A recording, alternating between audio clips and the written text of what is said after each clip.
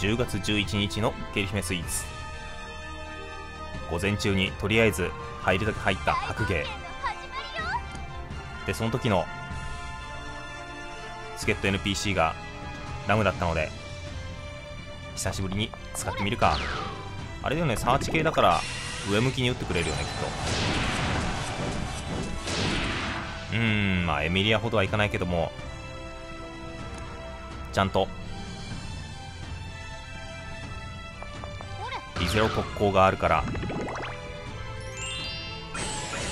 十分なダメージを与えられる。あ乗っちゃった。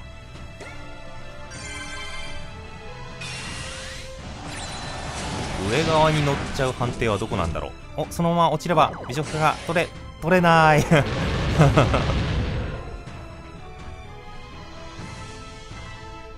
よしじゃあ誰に取らせようかな。うーん。総合ダメージどっちの方が高いかな？悪魔ホムとメリオダス。メリオダスいってみっか。えい。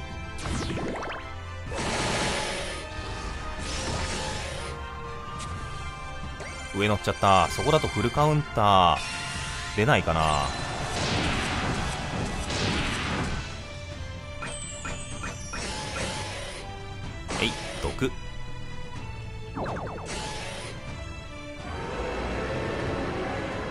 で下に下ろして下ろしてフルカウンタ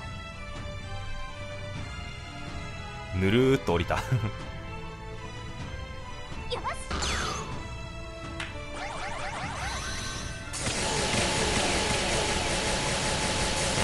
悪魔ホムホムの方がメリオダスよりやっぱりあるかな？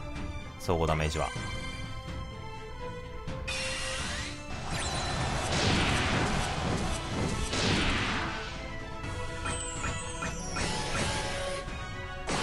の感じでじわじわとゲージを減らしておきましょう。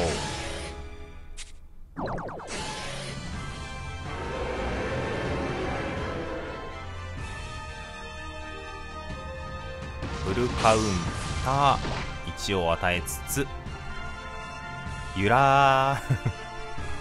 シュールな絵だな。リ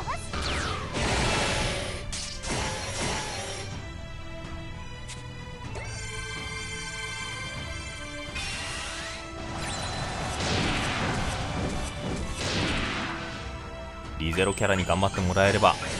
うん。楽さ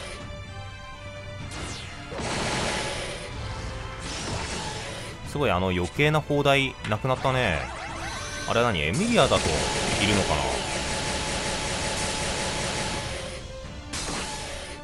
な？あと最近助っ人 NPC この前の更新でかな。レム出なくない？なんか急に出なくなったような気がするんだけど。またまかな。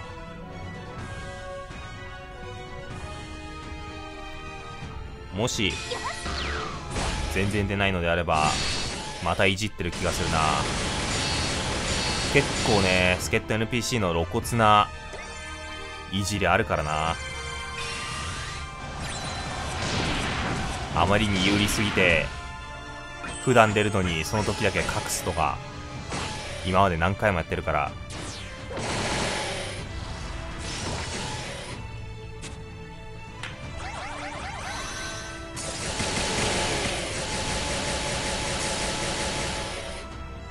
そういう点では本当信用ないからなここは。やるって分かってるんで。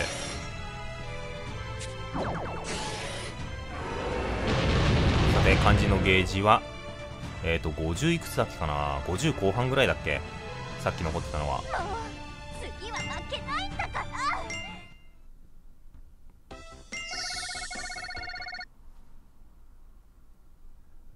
でもって白芸って1日何回だっけ？2回？2回だね。うん。じゃあ午後の部入りましょう。これがあるから午前中にとりあえずインだけしておきました。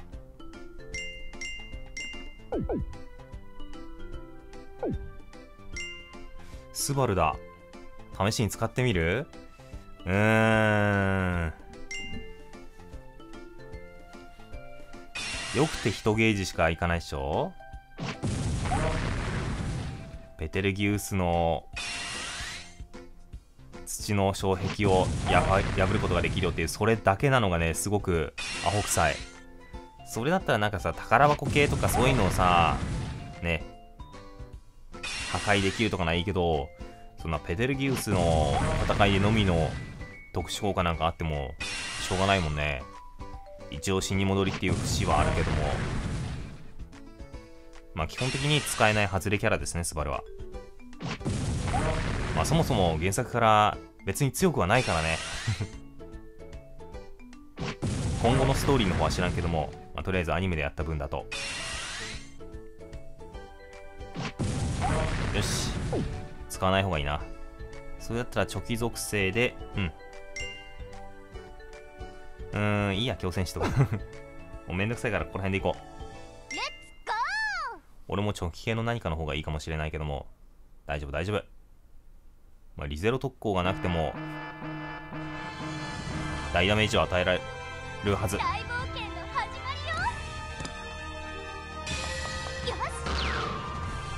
あー取れなかった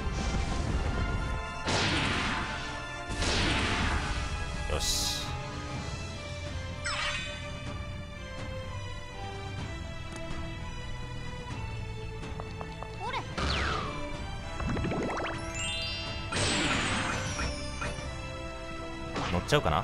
乗っちゃうね。乗ってるね。ノリノリですね。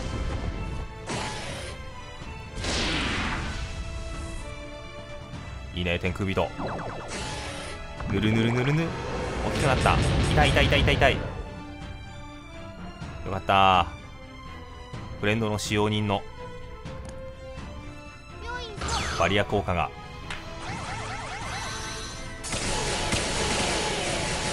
いい感じに入ってくれた。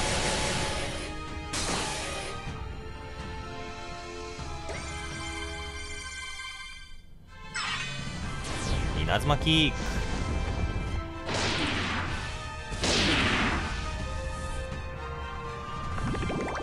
また大きくなったぜ。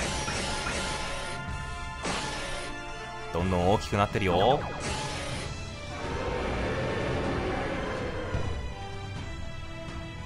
天空人は浮いたままさすが天空人。死んだ。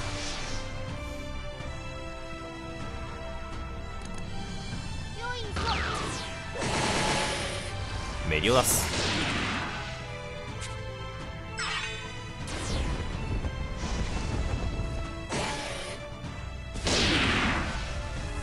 よしよし。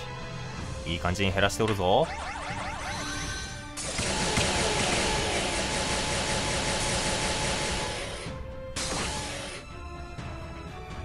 食家の毒の影響がもっとあればな。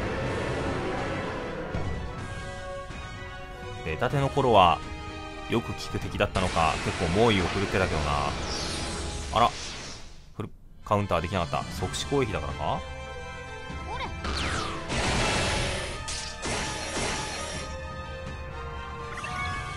れ 無駄に取る。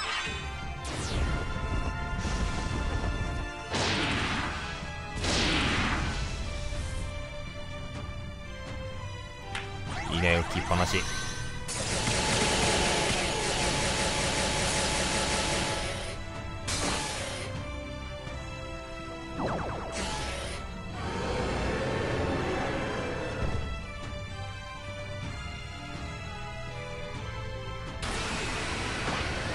死んだ。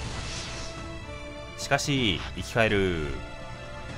死に戻り。ちょっと違うけど。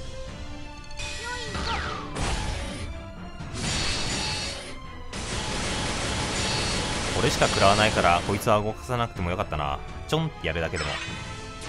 メンバー替えがめんどくさかったんでそのまま入れちゃったけど。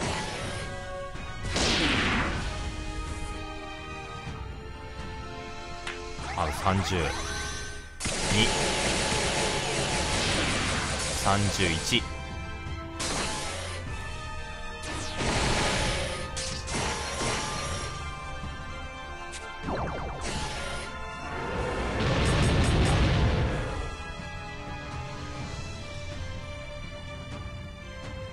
コンティニューはもちろんしない。